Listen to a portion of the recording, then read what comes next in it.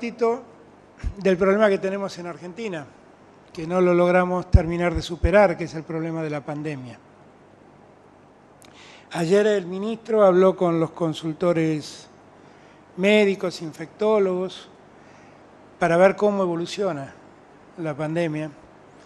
Y ayer también hablé con el gobernador de Buenos Aires, el jefe de gobierno de la ciudad de Buenos Aires, y con ocho gobernadores en donde se concentra hoy el 55% de los contagios que tiene el país.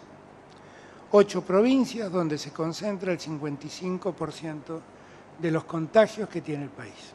Estoy hablando de Santa Fe, de Córdoba, de San Luis, de Mendoza, de Neuquén, de Río Negro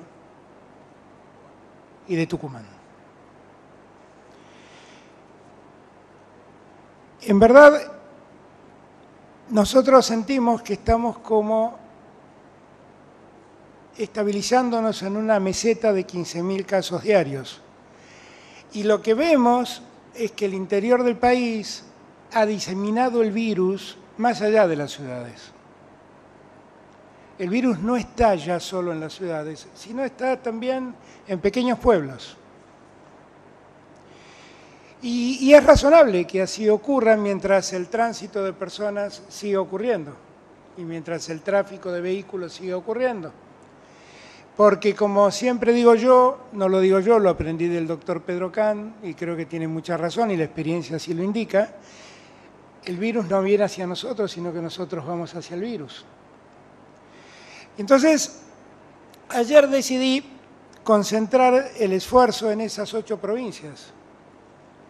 Porque esas ocho provincias, más el área metropolitana de Buenos Aires, que registra ocho semanas consecutivas de caídas de contagios, eh, tienen la gran proporción de los contagios del país. Y vimos un poco lo que pasaba en cada uno de esos lugares. Además de los contagios, en muchos lugares de estas provincias, lo que notamos es una, eso que llamamos nosotros estrés en la atención médica. Es decir, hospitales que se colman, terapistas que se cansan y debemos garantizar, como hemos garantizado hasta el día de hoy, que todos tengan la atención médica que necesitan. Eh, hemos observado que hay lugares concretos en todas las provincias, ¿eh?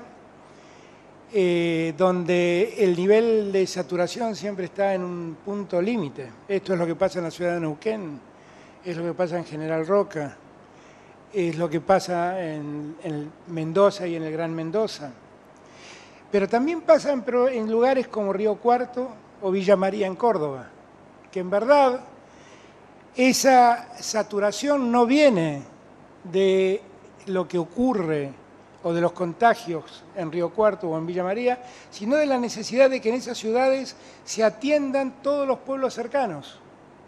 Y ahí es donde uno empieza a ver que ya el problema no es de las grandes ciudades como Río Cuarto, sino de toda la zona cercana que, de algún modo circunda a la ciudad de Río Cuarto. Hemos notado también que en Córdoba y en Santa Fe desde hace un par de semanas hemos logrado un amesetamiento de los contagios. Eh, y eso nos da cierta tranquilidad, pero es una meseta todavía muy alta. En el caso de Santa Fe, de alrededor de 2.500 casos diarios. Entonces, recién nosotros ahora vamos a ver qué frutos han dado los 14 días en que hemos declarado a muchas, de, a muchas ciudades de esas provincias en, aislamiento sanitario. Y por ese motivo vamos a seguir exactamente en las mismas condiciones en las que estamos hoy. Vamos a seguir en las mismas condiciones en esas provincias y vamos a seguir en las mismas condiciones en el área metropolitana de Buenos Aires, en donde, a pesar de que hay una baja clara, todavía no estamos en condiciones de decir que podemos quedarnos tranquilos, porque hay un número de contagios importantes.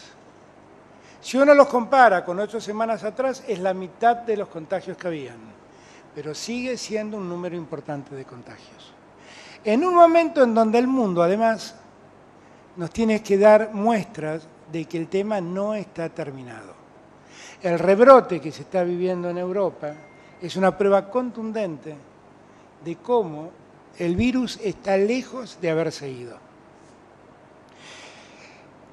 Estamos en una provincia que es de las provincias, junto con La Pampa, junto con San Juan, que nosotros destacamos que han logrado manejar muy bien la presencia del virus. Debe ser que está gobernada por médicos esta provincia, debe ser una de las razones.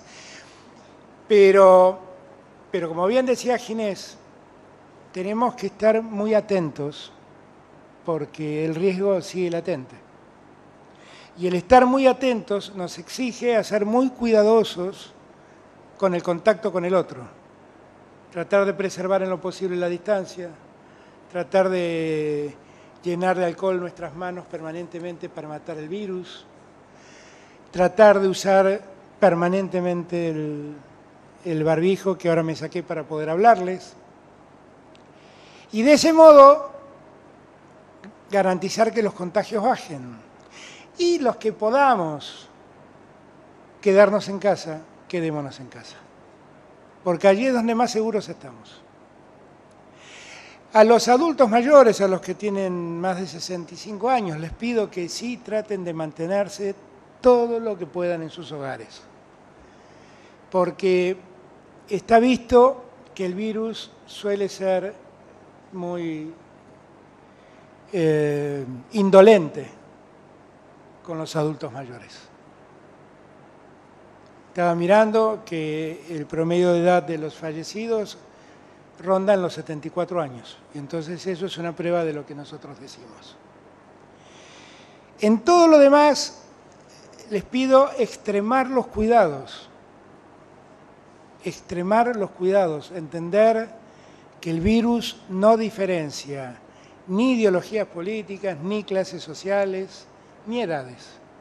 Ataca a todos por igual. Y cuando ataca a los adultos mayores, suele ser indolente.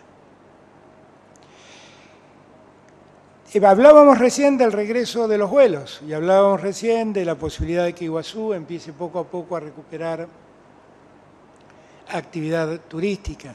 Y hace unos días atrás el gobernador de la provincia de Buenos Aires presentó la temporada de verano.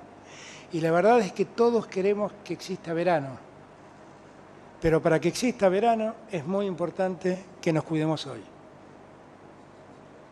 Es muy importante que nos cuidemos hoy. Me detengo un instante en la ciudad de Mar del Plata, la ciudad de Fernanda. Allí nació Fernanda, allí es la ciudad que quiere Fernanda. Fue una ciudad que estuvo prácticamente sin casos en los últimos meses y repentinamente los casos empezaron a crecer y, hoy es una de las, ciudades con más dificultades. Para que Mar del Plata tenga verano y todos podamos disfrutar de ese verano, tenemos que parar el problema hoy, minimizar el problema hoy. Y por eso es responsabilidad de todos y todas hacer lo que yo estoy pidiendo que hagamos.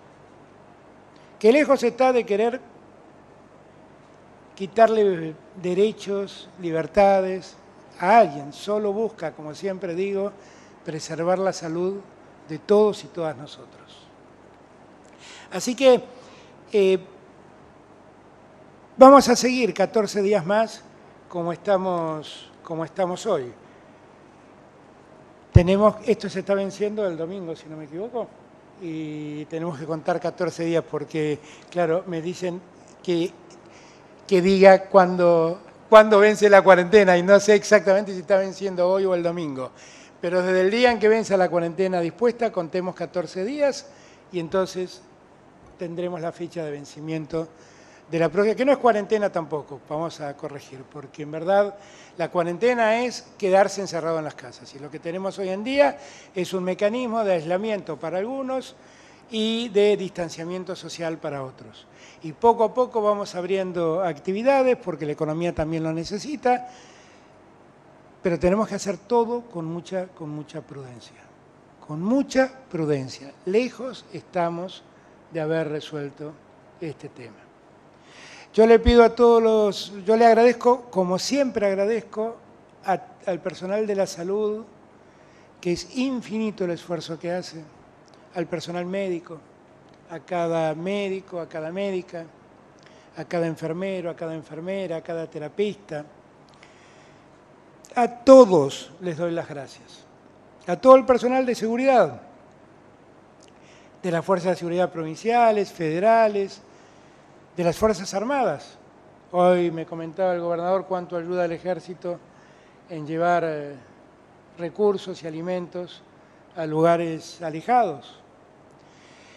A todos le doy las gracias, a cada gobernador y a cada intendente de la Argentina, a cada gobernadora de la Argentina y a cada intendenta de la Argentina, les doy las gracias, porque ellos y ellas han ayudado mucho en todo este tiempo.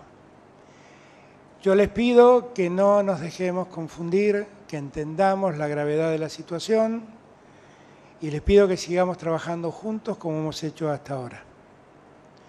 La experiencia de trabajar juntos e ir abriendo poco a poco actividades la hemos realizado en el área metropolitana de Buenos Aires con el gobernador de Buenos Aires y con el jefe de gobierno de la ciudad de Buenos Aires.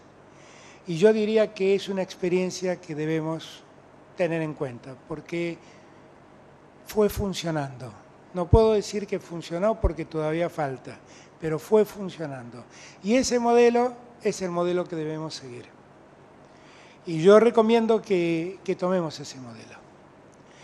Estoy en contacto con cada gobernador de cada una de esas provincias, a quienes les agradezco enormemente el esfuerzo que hacen y saben que cuentan con nuestro apoyo. Hemos tomado ayer nota de las necesidades que tienen. Hoy en la mañana estuve hablando otra vez con el gobernador de Neuquén, viendo las necesidades que Neuquén tiene. Hablé con el gobernador de Buenos Aires para que me ayude a resolver algunos de esos problemas. Yo advierto que estamos viviendo un momento que, como dijimos todos acá, ninguno previó que íbamos a vivir. A ninguno se le ocurrió pensar que íbamos a gobernar en tiempos de pandemia, pero es lo que nos tocó. Y como esto nos tocó, lo que hacemos, los hombres que hacemos política siempre, y con todo respeto los que somos peronistas más, le ponemos el pecho, nos ponemos de pie y nos comprometemos con nuestra gente. Vamos, vamos a hacerlo una vez más, vamos a hacerlo una vez más. Trabajando codo a codo vamos a levantar el país, vamos a superar la pandemia, tengamos mucha confianza en nosotros. Días atrás, Pepe Mujica, mi querido amigo, mi entrañable amigo y maestro, él no lo sabe, pero pero la verdad me ha enseñado muchas cosas en los años en que me brindó su amistad. Se despidió diciendo que se despidió, dejó su banca.